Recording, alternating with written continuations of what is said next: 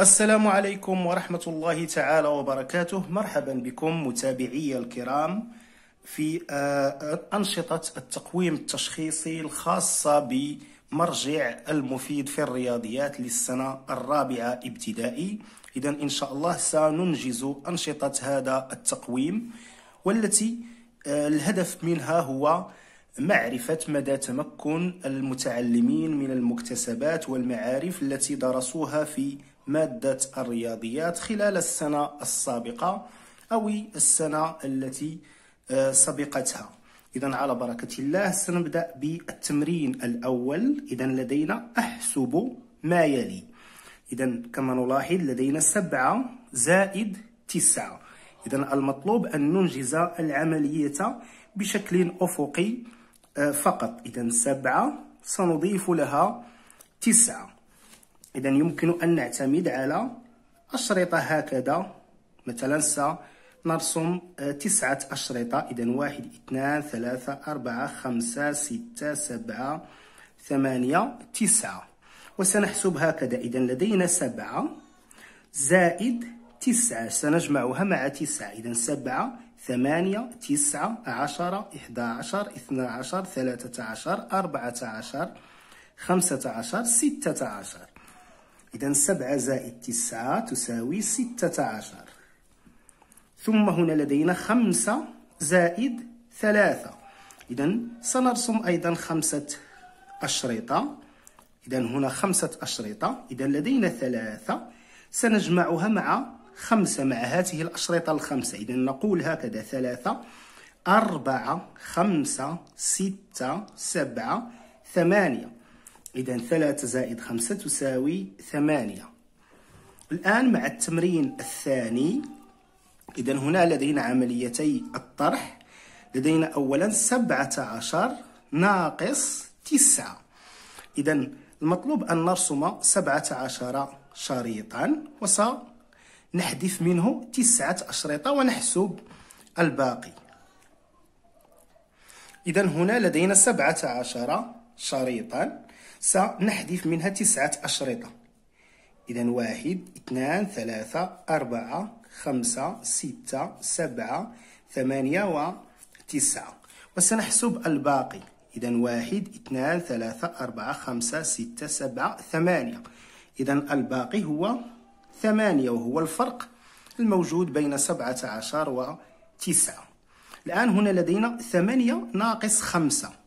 إذا ثمانية أشرطة سنطرح منها خمسة. إذا هنا هنا لدينا ثمانية أشرطة. سنطرح منها خمسة. إذا سنطرح واحد اثنان ثلاثة أربعة خمسة. ونحسب الباقي. إذا كم بقي لدينا؟ واحد اثنان ثلاثة. إذا الفرق هو ثلاثة. الآن ننتقل إلى التمرين الثالث. لدينا أضع علامة تحت الوضع العمودي الصحيح. إذا هنا لدينا عمليتي الجمع.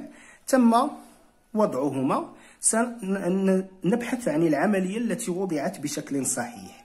إذا هنا 354 زائد 42 إذا لاحظوا معي هنا تم وضع الوحدات تحت الوحدات والعشرات تحت العشرات والمئات تحت المئات رغم أن في الحد الثاني ما عندناش المئات.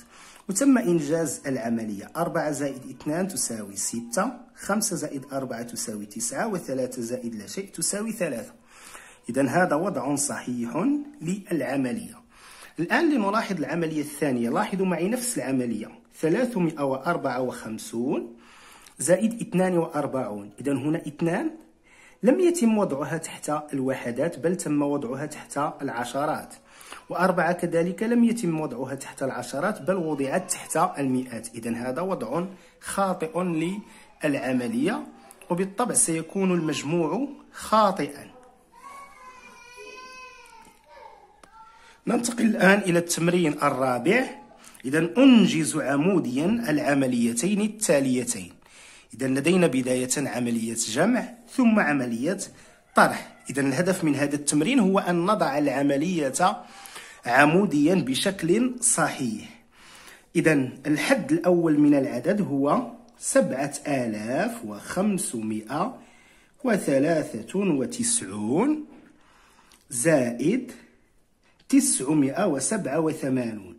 إذا سنضع رقم الوحدات تحت رقم الوحدات. إذا سبعة تحت ثلاثة ثمانية تحت تسعة باعتبارها رقم العشرات وتسعة سنضعها تحت خمسة باعتبارها رقم المئات. ثم ننجز العملية. إذا ثلاثة زائد سبعة تساوي عشرة. نكتب فقط صفر ونحتفظ بواحد فوق العشرات. إذا واحد زائد تسعة تساوي عشرة زائد ثمانية تساوي ثمانية عشر. نكتب ثمانية ونحتفظ بواحد فوق المئات. واحد زائد خمسة تساوي ستة زائد تسعة تساوي خمسة عشر. أكتب خمسة وأحتفظ بواحد فوق الآلاف. إذا واحد زائد سبعة تساوي ثمانية. إذا المجموع هو ثمانية آلاف وخمسمائة وثمانون. ثم العملية الثانية لدينا عملية الطرح لدينا تسعة آلاف وثلاثمائة وأربعة وخمسون ناقص ستمائة وثمانية وتسعون. إذا نكتب الوحدات تحت الوحدات والعشرات تحت العشرات والمئات تحت المئات. ثم ننجز العملية. إذا أربعة ناقص ثمانية لا يمكن أستلف العشرة وأرد السلف. وأقول أربعة عشر ناقص ثمانية تساوي ستة. ثم خمسة ناقص عشرة لا يمكن. أيضا أستلف العشرة وأرد السلف. إذا خمسة عشر ناقص عشرة تساوي خمسة. ثلاثة ناقص سبعة لا يمكن. أستلف العشرة وأرد السلف. ثلاثة عشر ناقص سبعة تساوي ستة. وتسعة ناقص واحد تساوي ثمانية. إذا الفرق هو ثمانية آلاف وستمائة وستة وخمسون. الآن ننتقل بكم إلى التمرين الخامس أحسب ما يلي. إذا لدينا مجموعة من عمليات الضرب. إذا هنا لدينا خمسة في ثمانية. إذا المطلوب أن آه، نكون متمكنين من حفظ جدول الضرب حتى ننجز هذه الأنشطة بشكل صحيح. إذا خمسة زائد ثمانية إذا خمسة ثمانية مرات فهي تساوي أربعون. ثم هنا عشرة في ثمانية إذا هنا نكتب ثمانية ونضيف لها الصفر. ويكون الجداء هو ثمانون. ثم هنا واحد وتسعون في عشرة. أيضا نكتب واحد وتسعون هكذا ونضيف لها صفر واحد ويكون الجداء هو تسعمائة وعشرة. ثلاثة في ستة. إذا ثلاثة ثلاث مرات. أو عفوا ست مرات. ثلاثة زائد ثلاثة زائد ثلاثة ست مرات فهي تساوي ثمانية عشر. ثم هنا أربعة في سبعة. إذا أربعة سبع مرات في الجمع المتكرر. إذا أربعة في سبعة تساوي ثمانية وعشرون. ثم هنا ثمانية في تسعة. إذا ثمانية في تسعة تساوي اثنان وسبعون. إذا المطلوب منكم حفظ جدول الضرب بشكل آه، صحيح وتمكن منه. الآن التمرين السادس أنجز عموديا العمليتين. إذا لدينا عملية ضرب. إذا ضرب 897 سنضربها في سبعة. إذا سبعة في سبعة تساوي تسعة وأربعون أكتب تسعة وأحتفظ بأربعة.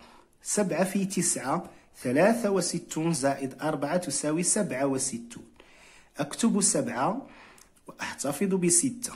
ثم سبعة في ثمانية ستة وخمسون زائد ستة تساوي اثنان وستون. ثم لدينا مئتان وثلاثة مضروبة في ثلاثة. إذن ثلاثة في ثلاثة تساوي تسعة. ثلاثة في صفر صفر. ثلاثة في اثنان ستة. إذن ستمائة وتسعة. التمرين السابع. إذا أصل العدد المكتوب بالأرقام بالعدد المكتوب بالحروف. إذا العدد الأول المكتوب بالحروف. لدينا هو أربعة آلاف وتسعون. إذا سنبحث عن أربعة آلاف وتسعون. إذا هنا لدينا أربعة آلاف وتسعمائة. ثم هنا أربعة آلاف وتسعون. إذا سنصله بأربعة آلاف وتسعون هكذا.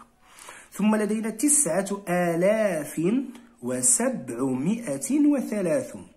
إذا تسعة آلاف. إذا هنا لدينا تسعة آلاف وثلاثمائة وسبعة. هنا تسعة آلاف وثلاثة وسبعون. ثم هنا تسعة آلاف ومئة وثلاثة وسبعون. ثم هنا تسعة آلاف وسبعمائة وثلاثون. إذا سنصله بهذا العدد المكتوب بالأرقام. هنا لدينا أربعة آلاف وتسعمائة إذا هنا أربعة آلاف وتسعمائة سنصلها هكذا. ثم تسعة آلاف وثلاثة وسبعون. إذا هنا قلنا تسعة آلاف وثلاثمائة وسبعة هنا تسعة آلاف وثلاثة وسبعون. إذا سنربط بينهما هكذا. وأخيرا لدينا تسعة آلاف ومئة وثلاثة وسبعون. ومئة وثلاثة وسبعون. إذا العدد الذي مكتوب بالأرقام هو هذا تسعة آلاف ومئة وثلاثة وسبعون. إذا سنربط بينهما هكذا. النشاط الثامن أكتب العدد الممثل أسفله. إذا لدينا هذا المعداد ومثلناه هكذا. إذا هنا الوحدات هنا العشرات هنا المئات وهنا وحدات الآلاف أو الآلاف. إذا كم لدينا في الوحدات هنا؟ إذا سنعد واحد اثنان ثلاثة أربعة خمسة ستة. إذا لدينا ست وحدات. عدد العشرات كم؟ واحد اثنان ثلاثة أربعة خمسة. إذا خمس عشرات. المئات كما نلاحظ لدينا صفر. والآلاف كم؟ واحد اثنان ثلاثة أربعة خمسة ستة سبعة.